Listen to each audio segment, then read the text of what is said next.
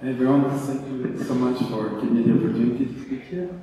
So yeah, I'll talk a little bit about a different topic, which is quantum search and quantum walks, uh, but uh, I'll try to, I'll speak a little bit about optimization and make some relations with uh, adiabatic quantum computing at some points in the talk, so please bear with me.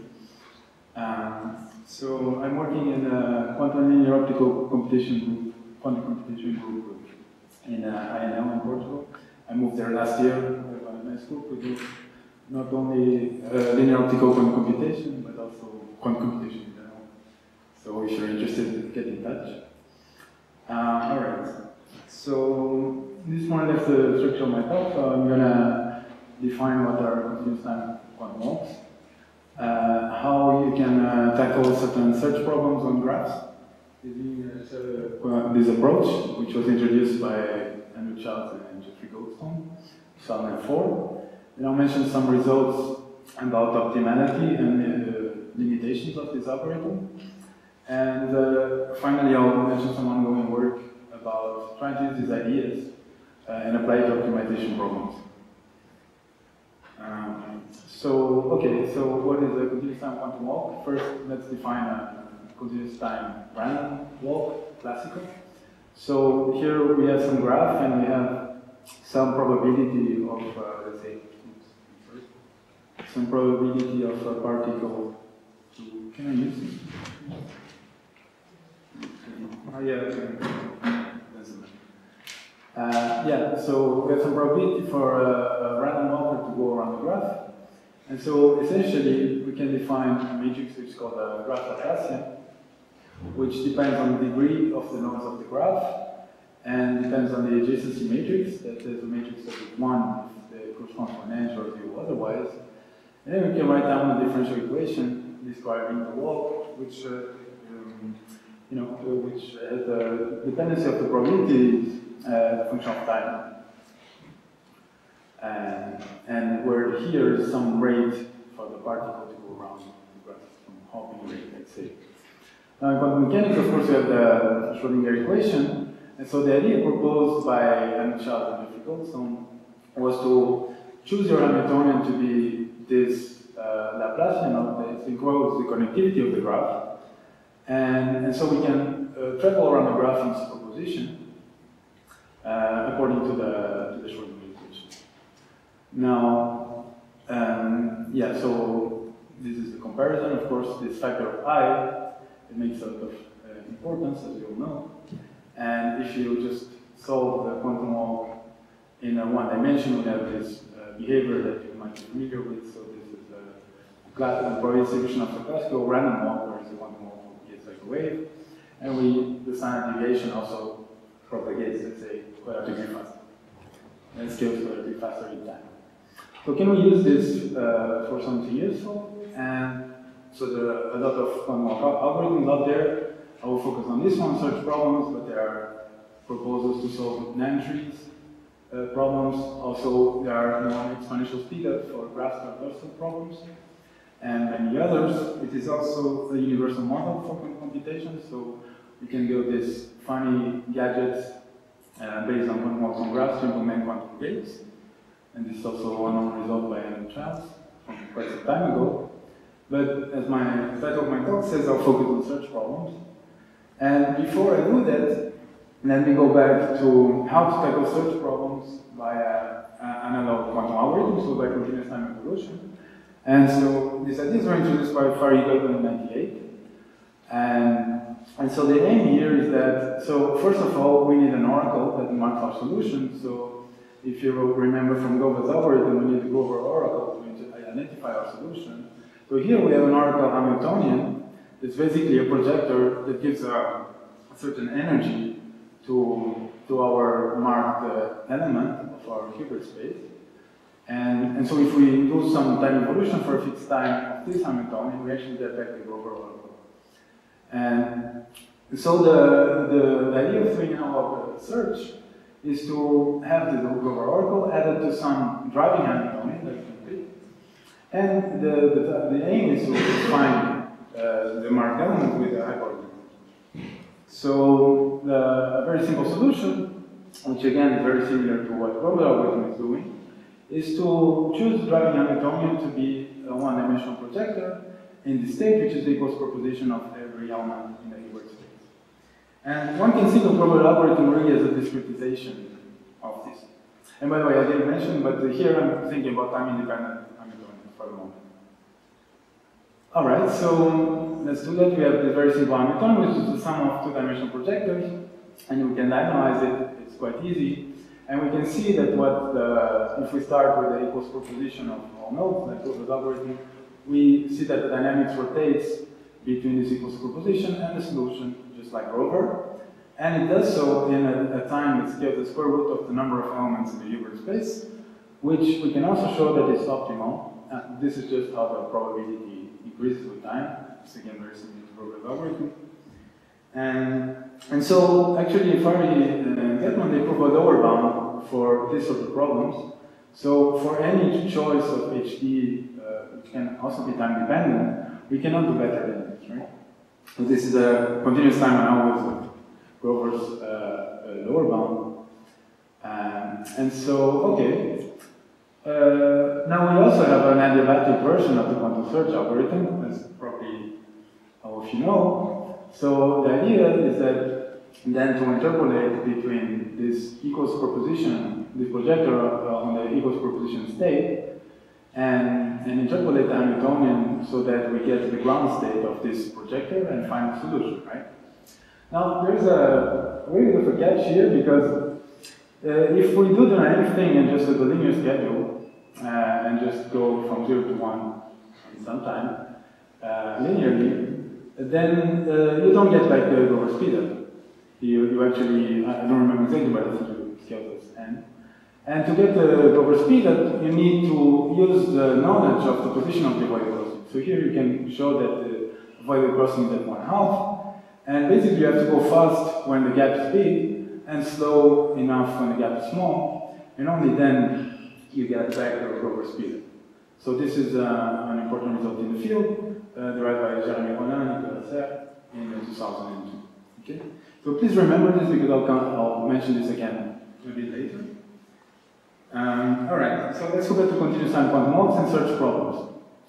So how do we define a search problem on a graph like continuous time quantum walks? So we have our Hamiltonian that has this marked, uh, this oracle term, and it has the Laplacian, which includes the connectivity of the graph. Now here the choice of the Laplace is not very important. We could choose the adjacency matrix. Both of them are valid Hamiltonians. They are both Hermitian for symmetric graphs.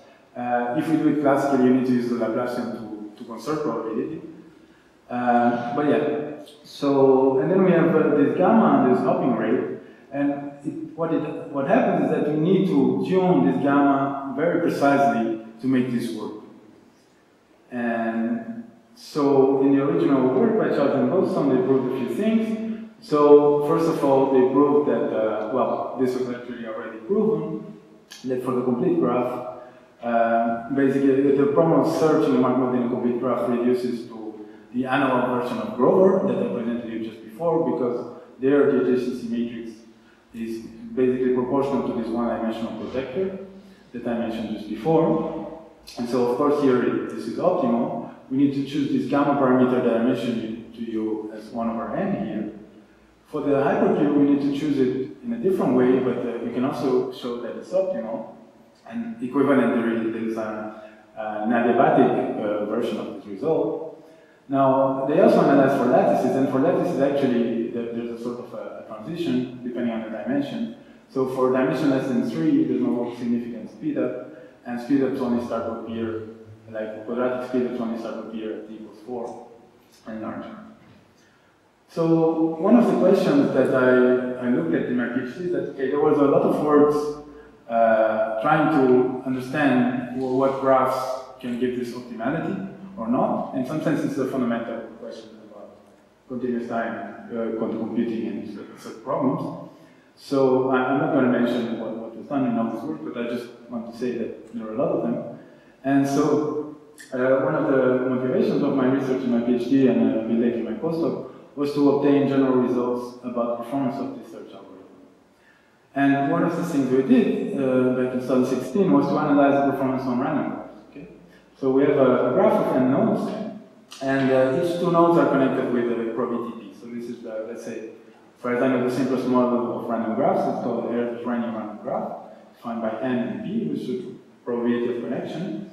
And I wanted to understand whether the search algorithm also works.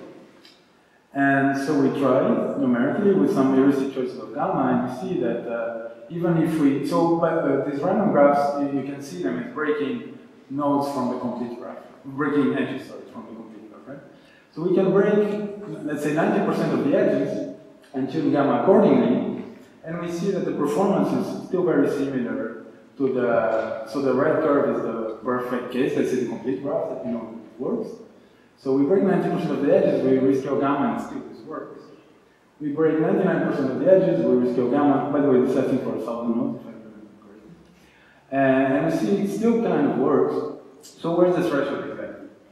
And so what we proved is to a sufficient condition for optimal quantum search, which uh, I'll formulate it here in terms of the normalized Laplacian. So I'm going to divide Laplacian by its uh, norm by its largest eigenvalue. And so now when this normalized Laplacian, my eigenvalue is going from 0 to 1. And, and so I have a spectral gap. So by the way, under general conditions, the, the lowest eigenvalue is 0. And, um, and so I, an important uh, uh, property of graphs in graph theory is the spectral gap, which is basically the second largest eigenvalue. And, and so we show that uh, a constant spectral gap is a sufficient condition for optimal quantum Okay? So as long as the, this normalized Laplacian is a constant that does not scale with the problem size, then we get optimality. Now, and this allowed us to get a threshold for P for the connectivity of this archimedes graph, for which we, we know that there's optimal search. Okay? So um, now in my postdoc in Brussels, together with Shantanav and, and Jérémie Roland, we tried to generalize the results and really say, derive as general as we could sufficient conditions. So you give me a graph, I test these conditions and I, I say whether search is optimal. These are not necessarily sufficient conditions, but they are sufficient, and they seem to be good enough to reproduce a lot of known results in the literature. So I won't go into a lot of details, but basically it's uh, just conditions that depend on functions of the overlaps of the marked node with the eigenstates of the Laplacian and with the eigenvalues of the, the Laplacian. And uh, so we define these functions, and, and, so in terms of these functions, we can define the sufficient conditions. So what we show is that if the spectral gap scales as something larger than 1 over square root of n, and again the number of nodes in the graph, uh, then we know how to analyze quantum search. We know how to choose the optimal, the, the best possible choice for this gamma parameter, which sets the hopping rate of the quantum walk. And, and for this optimal choice, we know what is the performance. We can write it in terms of the spectral function, as well as the success probability. So this defines some at least simple to write. They're not very simple because the functions are not very simple, but at least you can write it in a short way.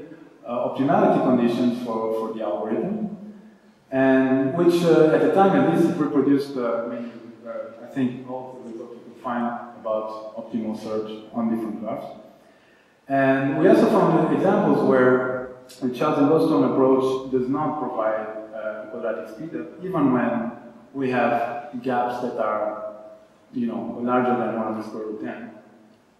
And this is a funny example because it's a graph that is based on the movements of a rook on a like rectangular chessboard. But I won't go into details. Uh, so, so we, we basically realized that this um, approach has some certain limitations, and this uh, pushes us to go further and define other sorts of quantum walks uh, and more general results, which are a bit less intuitive to explain. So I just wanted to mention that this exist. And for this kind of walks, we can actually obtain very general quadratic speedups for such problems for any Markov chain, basically, under very mild conditions, and any number of Markov elements. Because the Childs and Goldstone approach, once you put more than one Markov element, it becomes very difficult to analyze. And these results also exist for discrete time walks, so from 2020, and, and our results are from 2022. All right, so I want, uh, I will make a transition now towards optimization. Uh, I don't know how much I have still.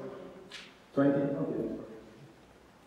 Um, right, so can we use anything of what we have derived before and, and try to understand better the performance of quantum optimization? Um, so the first part, the first thing I want to talk about is uh, what, what, how can we even for, formalize the problem, right?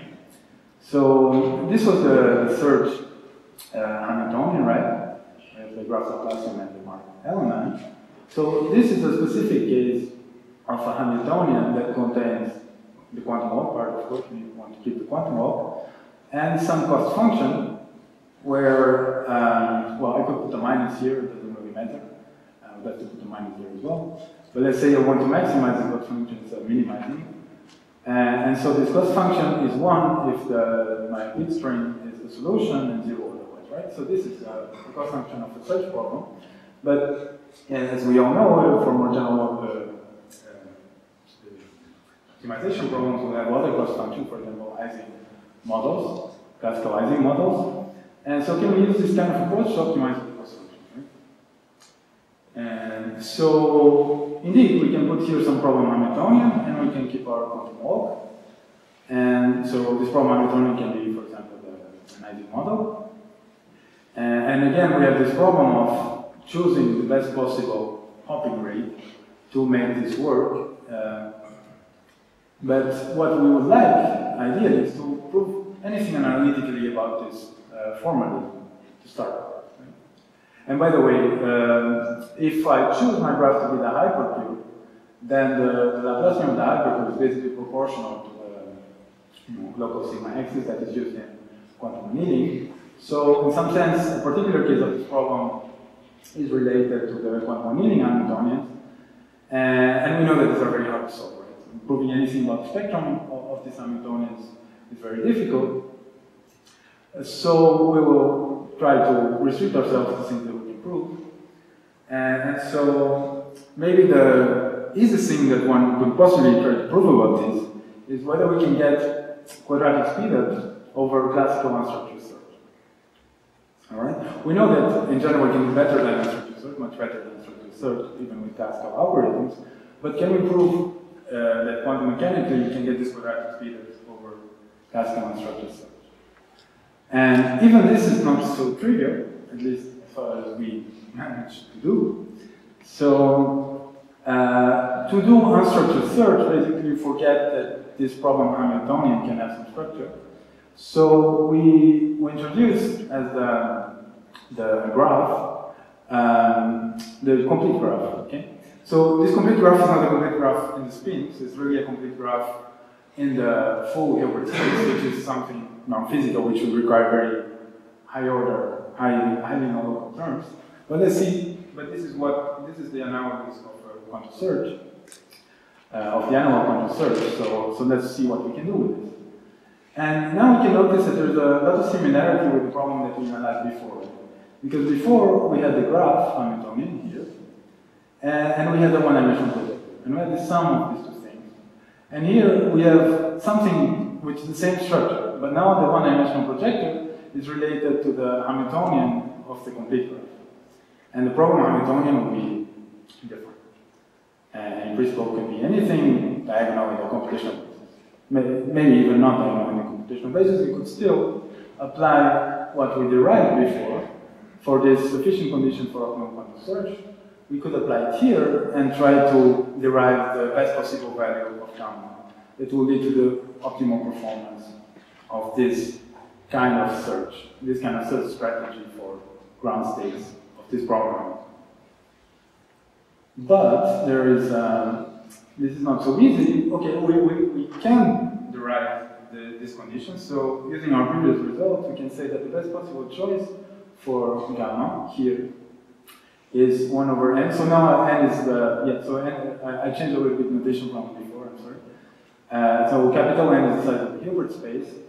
Here, these are the eigenenergies of the, these are, these are the energies of problem Hamiltonian, and this is the ground state energy of the problem. And the alpha are the degeneracies of each of the eigenvalues. So I sum over all alphas that are not the ground state, otherwise this equation will blow up. And if I am able to choose this gamma star, I indeed can obtain the expected quadratic speedup over unstructured search approaches. But, but there's a problem. How do you even compute? This seems to be a hard thing to compute, and indeed, we could show that uh, for typical problem, for example, the Ising model, the problem of computing this quantity exactly, classically, right, because it's something we need to compute beforehand to run the quantum algorithm, is #P-hard. So if you're not familiar with #P-hard, then think of it as worse than NP hard. #P complexity class related to counting problems, of uh, counting number of solutions of NP hard problems, and NP hard is as hard as finding ground states models. So this is very hard.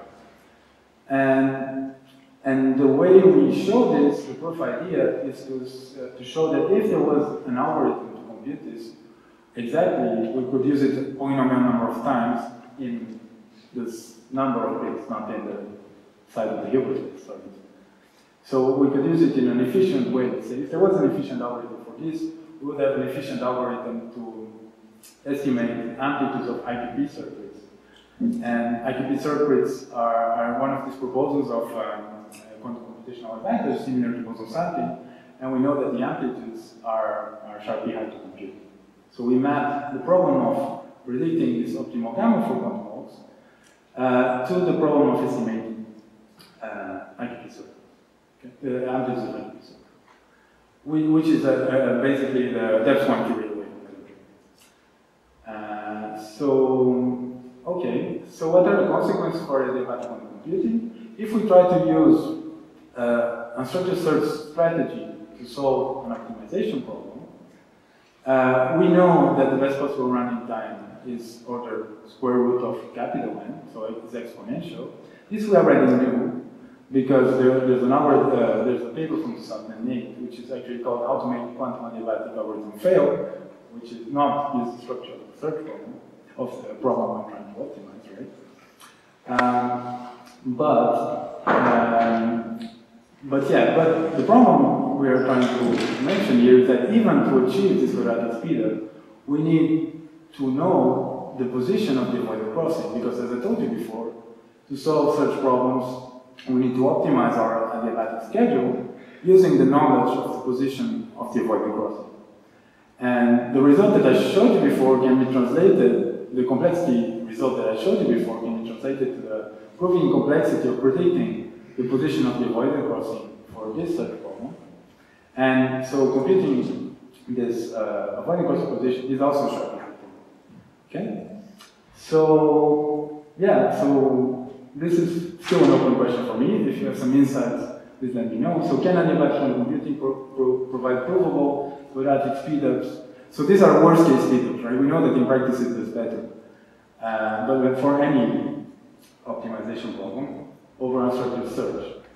And there's some hope because uh, we don't need to compute this exactly, so our complexity theoretic results are about exact computation. But if we, ma we manage, well, we don't know actually what is the complexity to prove it up to the accuracy you actually need. And the accuracy you actually need should scale at something like 1 over square root of capital N. So exponentially the number of uh, bits. But, um, but yeah, in this way. So if there is a classical algorithm that is able to compute this value up to this precision, scaling as square root of time, then we can then use the quantum algorithm and solve the problem. Uh, or else we can maybe try to use the dynamics of the, the quantum algorithm itself to, and trial and error to actually try to find the position of the crossing and solve the problem. We don't know yet. So let's move to numerics because analytics is difficult.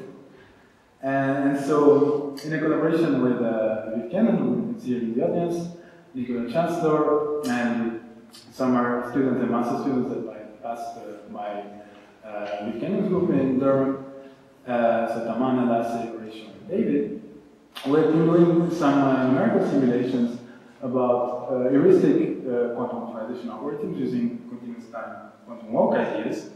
And this is inspired by earlier work done at Durham by, by and Nicola.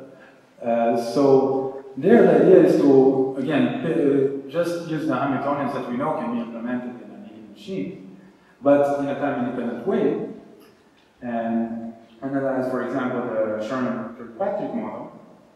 And, and here they've obtained this uh, very interesting result that in some sense, the simplest thing you can do is to quench this Hamiltonian and let them uh, run for a short bit. I lost my mouse, sorry.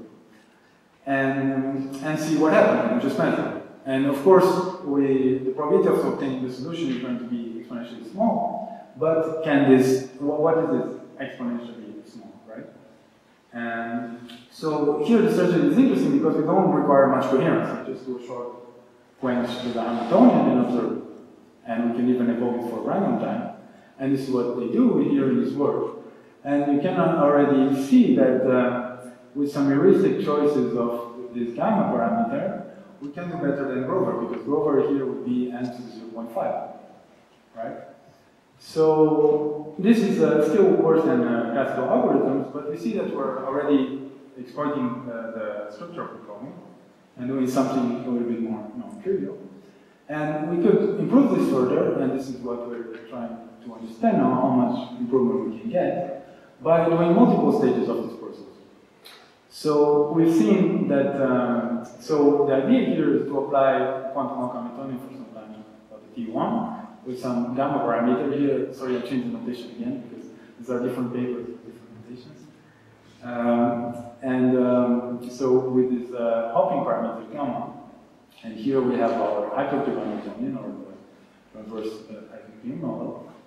And yeah, and so we, we, can try to see what happens when it's uh, several stages of this. And in a way, this is a, just a different, as uh, Lucas Brady was telling us before, QA is a, in some sense a particular discretization of uh, possible ways that you can interpolate between this Hamiltonian and that Hamiltonian. And, and here we have a different one? But in some sense we have a, a more freedom because we can apply the two Hamiltonians at the same time. And so uh, an obvious question is, can, can we actually do something better than QAOA? So one thing that we can prove uh, is that if we use this sort of discretization as a way to simulate any continuous time evolution, any sorry, time-dependent interpolation between HP and HP, uh, then the multi-stage quantum walk simulation should be better. Why? Simply because, again, as I said, we are able to apply these two terms at the same time. So the error in the simulation should be only proportional to the time derivative of this Hamiltonian. So we can divide it into small steps and try to simulate small time steps and try to simulate the time step using this sort of, let's say, generalized gates, these quantum walks. And, and then uh, our, our error can only depend on, uh, on h dot, on, on the time derivative, because if there was no time derivative, then we would do it exactly. We would have exactly the Hamiltonian that we cannot do. Now, QAOA, if we try to use it to simulate adiabatic uh, uh, schedules or any uh, continuous time interpolation schedule, then we'll have two errors, right? We have one coming from the time dependence, proportional to h dot max. And, and another coming from uh, the fact that we are trotterizing the evolution. We can only apply one of these Hamiltonians at each time. We cannot apply them both at the same time. So we have two errors, whereas here we have one. So in some sense, we expect to, to have better performance over QAOA. And we've done some numerics, which is not final, so the plots can look nicer in a future paper. Uh, so in a single stage of the continuous time quantum walk, we, we can explore the full parameter range, right? So here we are, we are plotting the expected value of the problem Hamiltonian energy, uh, which is a, a, typical thing we can observe, a typical feature of Mary. And with the quantum walks, you can actually reach values that are, let's say, minus 10. Uh, so this is a specific in instance of uh, the Sherrington-Kirkpatrick model.